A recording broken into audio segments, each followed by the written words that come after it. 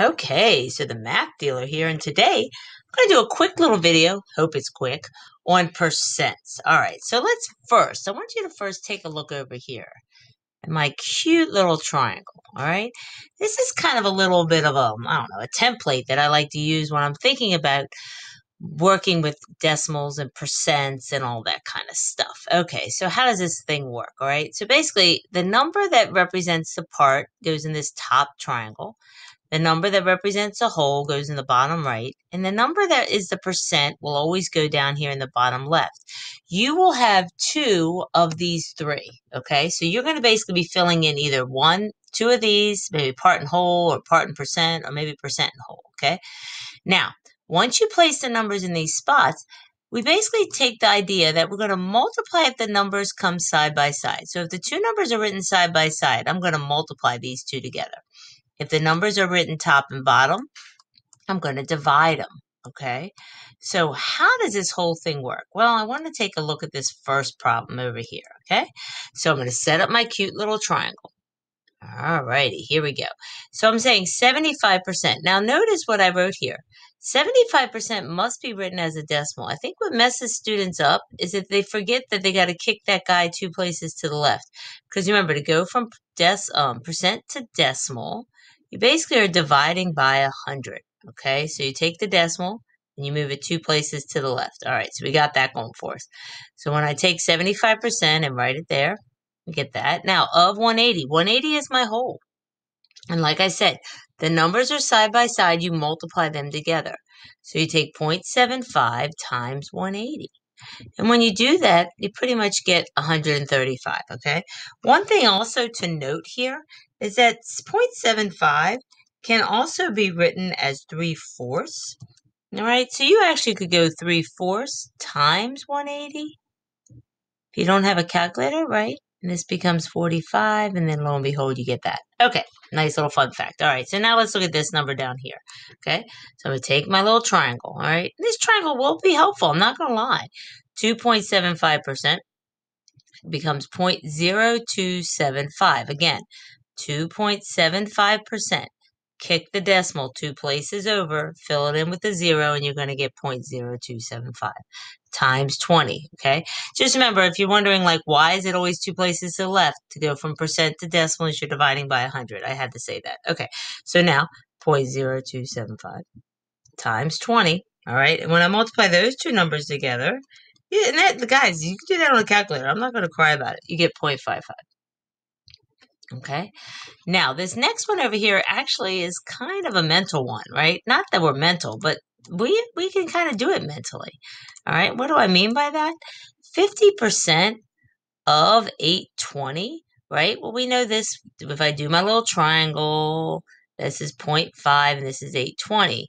Then when I multiply these two together, 0.5 times 820, I'm actually going to get 410. Now, the mental way to do that just don't forget 50% is 1 half.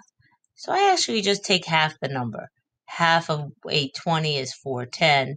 And lo and behold, there's your answer. Okay? I know, super excited. Okay, here, let me clean up this board a little bit. Sorry about that. You know me, I get a little messy. If you watch any of my videos, you know where I'm at with this. Okay, so here we go. Look at this next one. Okay, this next one. Why don't you pause the video and see if you can get that one yourself? Okay, welcome back. All right, so this answer is 0.028. And the way you would get that, just remember your percent is 0.004 times 7. So just remember 0.4%. Two places to the left gives me 0.004.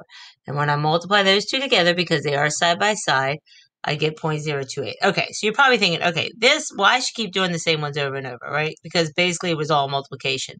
Well, it can change up. Remember what I said. If the numbers are top and bottom, you're going to divide those numbers. So the next question is asking you for the percent. So the percent is what the question is. 51 is the whole. 23 is the part. So if I take 23 divided by 51, okay, on my calculator, my handy dandy calculator, right?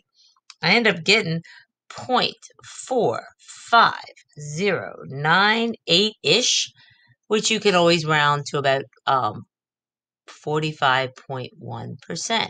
Now you might be asking, okay, how did she go from one to the other? Okay, just remember 0.45098 can be rounded to 0.451. And then to go from a decimal to a percent, you multiply by 100. Okay, and that decimal goes two places to the right. She's a different color there, right? So that becomes 45.1%. Okay, and like I always say, why don't you pause the video and see if you can get the next one.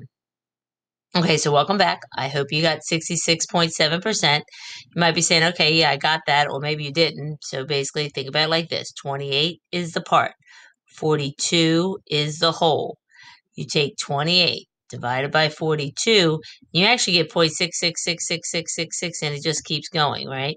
So I can become 66.7%. Because again, you're going from a decimal to a percent, multiply by 100, move the decimal two places to the right. If you forget that, that's what's happening here. Okay, now let's check this guy out. 23 is 8% of what number, right? Well, let's talk about this. 8%. Now, that's the percent. I'm doing to write it as a decimal. I'm trying to figure out like 8% of what number. That's the part. I mean, that's the whole. 23 is the part. Okay, because 23 is like with us the part that is of the whole. Okay, now you have to actually divide these two because remember what I said earlier. If the numbers are top and bottom, you divide. So you take 23 divided by 0.08.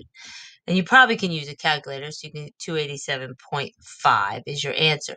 If you can't use a calculator, you might want to go back and watch my video on how to divide decimals, okay? So basically, you take the 23, it goes inside, put a decimal behind it, move it two places to the, on the outside, you got to move it two places on the inside, okay? Now you take an 8 into 23, and then when you do the math, you will get 287.5. But like I said, if that's a little fuzzy to you and you can't use a calculator, might want to check out the other video I have. Okay.